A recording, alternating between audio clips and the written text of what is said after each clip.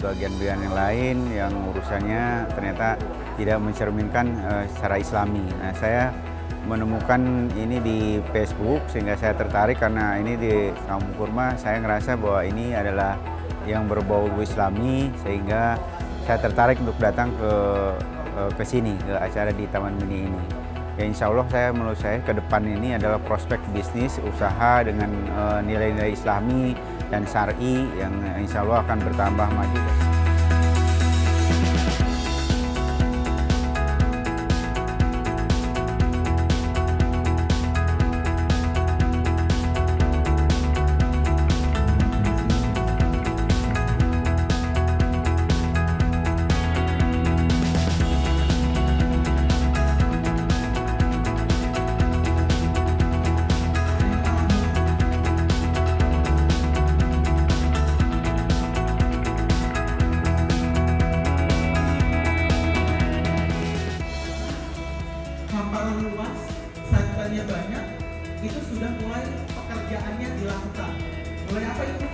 Sudah ada penanamannya.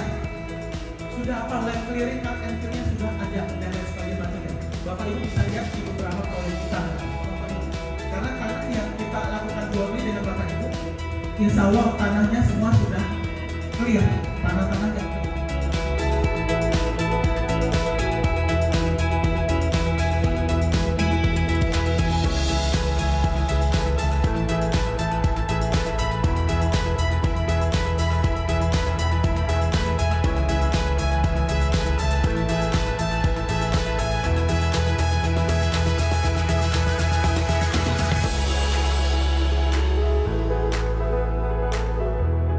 produktif ini nanti bertujuan kita punya cita-cita untuk setiap muslim gaya hidup hariannya akan seperti ini.